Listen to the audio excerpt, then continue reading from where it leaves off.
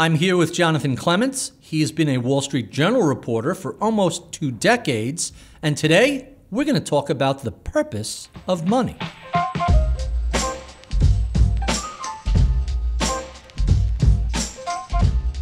Jonathan, thanks for coming. Great to be here, Barry. So, not only were you a reporter at the Wall Street Journal for a long, long time, you've written a number of books.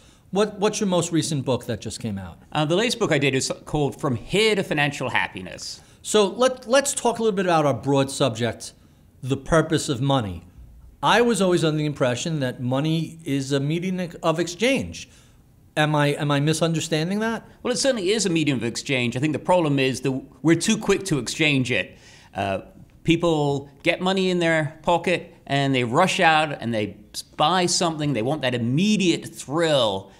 But as we know from the research, the thrill doesn't last very long. One of the most compelling statistics out there is what's happened to happiness in America since the early 1970s. Over that period, real inflation adjusted income in the US has more than doubled, and yet reported level of happiness has not budged. We are no happier than we were in the early 1970s, despite this vast improvement of our standard of living. So, what that tells you is money has not bought happiness, but I honestly believe that it can if we spend it properly. So, the millennials would say, okay, boomer, of course money isn't going to buy you happiness if you're wasting it on goods and, goods and material objects, but money can be used to buy um, experiences and social events and time with family, and, and that's a better use of money. What, what do you say to that generation? I would say that millennials are surprisingly smart. They learned this a lot earlier in life than we did. In fact, I really feel like millennials get a bad rap. So when I talk to people about money and happiness and the three key ways that it can help, that is one on the list. Yes, use your money to have special moments with friends and family. It's a great use of money. The second way to use your money is to be able to spend your days doing what you love. That's full financial freedom that we get when we finally reach retirement. But if you're smart about handling your money, if you save diligently from the day you enter the workforce, you invested intelligently, by the time you get into, say, your 40s, you may have the freedom to cut back the number of hours you work, swap into a career that may be less lucrative, but which you might find more fulfilling.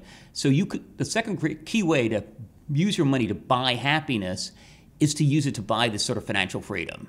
Mm-hmm. Uh, that's two. Give us one more. So the third way to use money, and I think this is the great financial trade-off, which is if we spend a little bit less today and put away the difference, what we can do is reduce the amount of financial anxiety we have. It's the great trade-off. It's a trade-off that so few Americans do. We know, for instance, from the Federal Reserve study, that four out of 10 Americans couldn't cover a $400 financial mm-hmm. emergency without borrowing money or selling possessions. I mean, can you imagine that, living that close to the financial edge? How anxious that would make you. So what I say to people is money is sort of like health. It's only when you you're sick that you realize how great it is to be in good shape.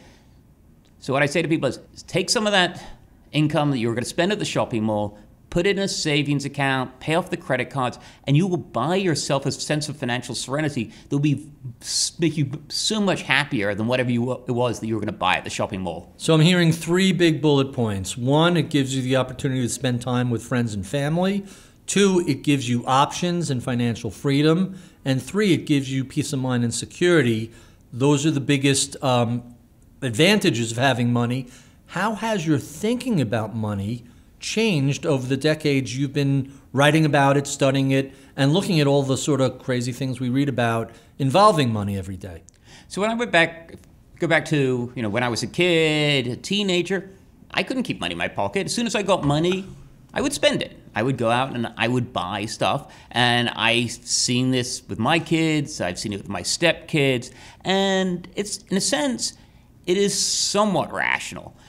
When you reach our lofty age, Barry, we're not going to have that much time to enjoy the possessions that we purchase. But when you're a teenager, you've got decades ahead. So there's a big difference between the I have money in my pocket, I'm looking for a dopamine hit, and I'm 25 versus I'm 55, 60, 65. Life is short. What am I waiting for? Are, are you making that claim?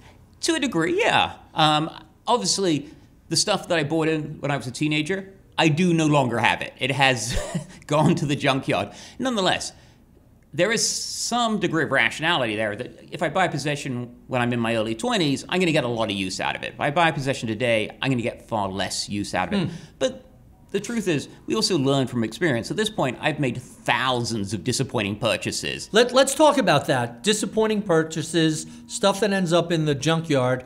What sort of monetary regrets do you have about things you, you've purchased? When I had a house, I used to have a basement. And as I've said to people, basements are basically badly curated museums devoted to the stuff that we bought that we thought was going to make us endlessly happy, but ended up disappointing, and we just simply can't bring ourselves to trash. So when I sold my house and moved into the city a few years ago, you would be shocked at the amount of stuff that ended up on the, the curb. And you know, they were everything's from you know pieces of art, old bicycles, you know, pieces of furniture. Every one of them, I gave great thought to when I purchased. And by the time I moved out of that house, it was like, really? Did I really spend money on this? So, how should people balance spending money today versus saving for a happier and more comfortable future? It's a tough balance to hit. I think at this point, we don't have a huge problem with people saving too much. Most people spend too much.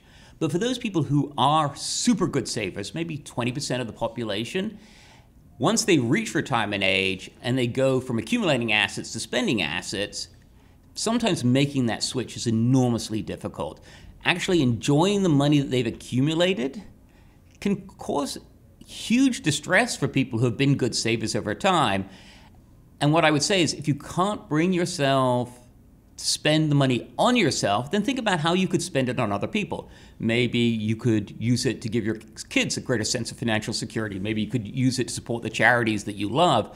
There are other ways to use money other than simply going to the shopping mall and buying stuff for yourself. Does, does anyone still go to the shopping mall? That's uh, that's certainly the one okay, thing I boomer. think. I think the millennials have gotten that right. It's all Amazon all the time, and no one's wasting their time sports shopping. I don't think this generation does that the way, let's say, the Gen X or Boomer generation did. But I think, you know, if you've accumulated a decent amount of money, the thing we started out talking about, about creating special times for friends and family, I think that's a great use of money. I mean, I will spend countless dollars to bring my kids together to have a special time with them, whether it's going on a vacation, whether it's going to a, a great restaurant, just getting everybody together, talking and having a fun evening. I think that is a great use of money, so much better than going out and buying the latest electronic toy. Thank you so much for coming by, John, and thank you for watching. Be sure and subscribe uh, below, hit the like button down there, leave us a comment, and we'll see you again.